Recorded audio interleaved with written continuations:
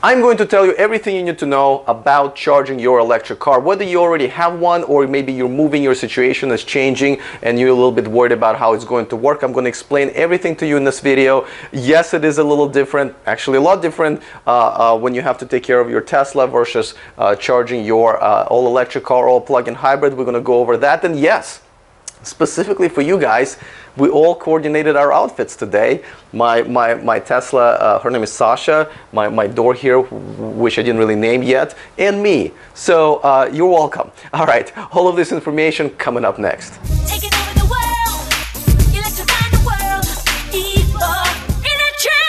If this is your first time here and you're interested in learning more about electric cars and just staying up to date on what's going on in the world of electric cars, you came to the right place. There's a subscribe button right there. Go ahead and click it so you don't miss anything moving forward. And let me also mention that this video and this channel is sponsored by EVANNEX, the aftermarket accessories for Tesla. There's a discount code in the description of this video. All right, let's talk about charging your electric cars. And we here in my garage, as you can see, my uh, it just actually turned itself on. My uh, Tesla is being charged.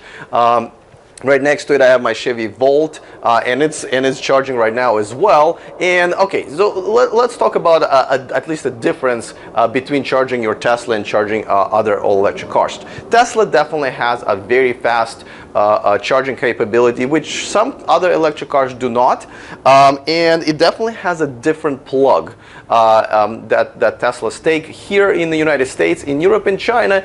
It's different. In, in some countries, it, it, does have a very common uh, um, a plug that you can basically use for other electric cars. There are different standards, and I don't want to bore you with it because essentially you're going to end up with a specific one, and that's the only one that you need to know. You need to know what kind it is, and when you are buying yourself a charging station uh, or um, you're charging somewhere out and about, you obviously need to know that they're compatible. But there are adapters everywhere, so a lot of times uh, you either buy one or the car will come with one uh, like Tesla comes uh, with one where you can uh, plug it into pretty much all uh, other charging uh, stations like ChargePoint and Blink and so forth. Um, so but the supercharger network that Tesla has where you charge your car pretty fast 45 minutes to almost a full charge um, and it's a huge advantage. Now the network has been designed for long distance travel. As a matter of fact, Tesla just announced that right now, 99% of us are within 150 miles of a supercharger. Uh, which is usually a minimum range that any Tesla has, even the older models. This is actually a regular 60, so that's a little. It, it has even more than that. Um, but a lot of people still end up charging it um, just on regular, you know, on regular weekly, daily basis because they don't have a charger at their homes. Uh, and of course that overcrowds the superchargers. Uh, some of them have lines and at the same time, those people do have to dedicate, you know, 45 minutes to an hour sometimes once, twice, three times a week to charge their cars, which essentially means they either have to sit in their cars or, or go and get something to eat. And it's a personal decision. Uh, but again, it's kind of frowned upon in the community, um, and so it's so it's up to you. Um, there is really no fast charging network for all other cars. There's Electrify America here in the United States and Canada. They're just building out their network. There's Ionity and a few other ones in Europe which are a little bit more advanced, but still in the very, very uh, beginner stages there. So essentially, if you want to go traveling uh, and you don't have a Tesla, you might want to either consider a plug-in hybrid like the Volt, or you might want to consider taking one of your other cars that may be a gas car uh, or renting one. Uh, traveling in a non-Tesla right now it is a, a, problem.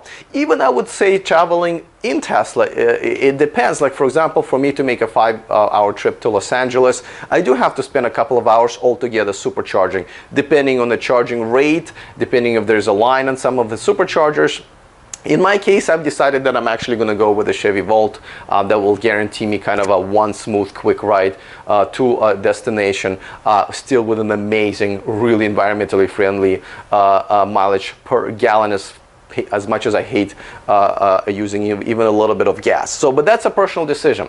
now, um, essentially, you're going to have to figure out how to charge your cars or a car at home. And this is what I'm doing here Obviously, if you have your own home, it's much easier uh, because you can do pretty much whatever you want and you can modify your electric panel and, and, and run charging stations and install it as you wish.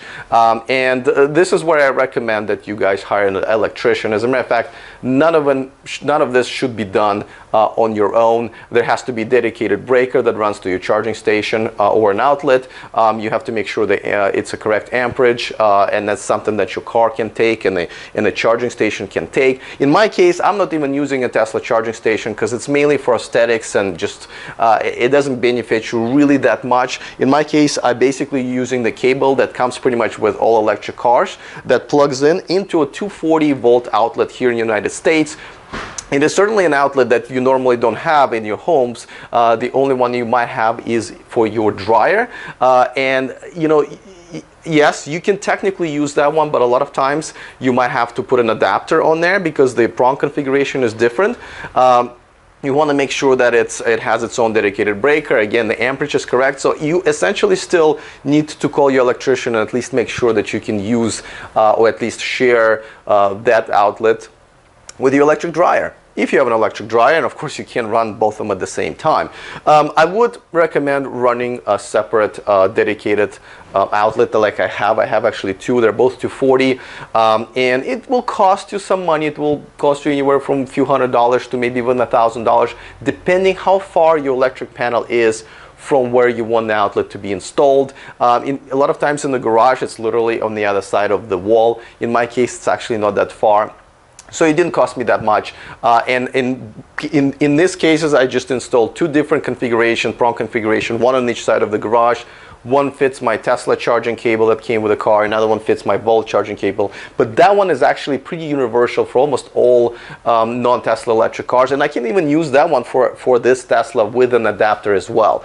Um, so that's the way I have it set up. Now, I know a lot of you, you know, so let's be done with that topic. If you own a garage, hire an electrician, get it, uh, get it done, and figure out if you want a fancy charging station or just an outlet, and you just use a cable. And by the way, uh, here's a um, this is a simple seven dollar um, hose holder, whatever you want to call it, that I got Home Depot, and that's how you basically hold the the cable. Um, you can still get a charging station that's cool. They're very cool looking, and Tesla will sell it to you. You even install it for some extra fee. Um, that's not always competitive, but nevertheless, at least it's from Tesla, and they they hire um, qualified electricians. Uh, all right, now um, as far as uh, the uh, living in an apartment complex or in a in, or living in a condo or maybe being part of HOA, that's very different. And this is where, unfortunately, I can't give you very specific advice because there are laws that govern uh, this differently in different states and definitely in different countries. Now, I can tell you that at least here in California, we do have a couple of laws that basically say if it's a relatively large apartment complex, I think over six dwellings, uh, then and um, a tenant would like to have a charging station, he or she can have it installed, and and and the landlord can really you know uh, argue, but it would be at your expense, and you know again that can vary from a few hundred dollars to maybe a couple of thousand dollars depending on how far they have to run uh, the you know from their control panel from their electric panel. Um, and you have to ask yourself I mean if you live there for another year let's say um, and you invest this one two three thousand dollars into a charging station that essentially is going to be given as a gift to your landlord do you really want to do that? Um, so that's a question you have to ask. Uh, HOAs also are governed by a different law, but just like I said, check with your HOA. Sometimes you know you can just work out a deal uh, with them because I mean this is this is becoming pretty pretty common. Or um, uh, check with your attorney, and they will tell you exactly what your rights are. And then it's a business decision for you, right? You just have to figure out is it worth it knowing that you may not live there for, for, for that long. Uh, if you own a, a condo or, or house that's part of HOA, then of course it's a, a, an easier decision and it's investment into your own property, but then you have uh, to maybe go through some uh, permissions and, and paperwork with your HOA. So definitely check on that, but just know you might have some rights uh, and they may not say no to you if you're willing to go with it. Um, now, a lot of people also charge at work. And uh, that's a little tricky, right? Because obviously you may not keep your job for as long as maybe your car lease or car ownership and then if you if you end up not being able to charge at work let's say your new office uh, doesn't have that uh, you might want to have a backup plan for that. Or you might even move locations and offices if you work for the same company and they may not have those chargers there.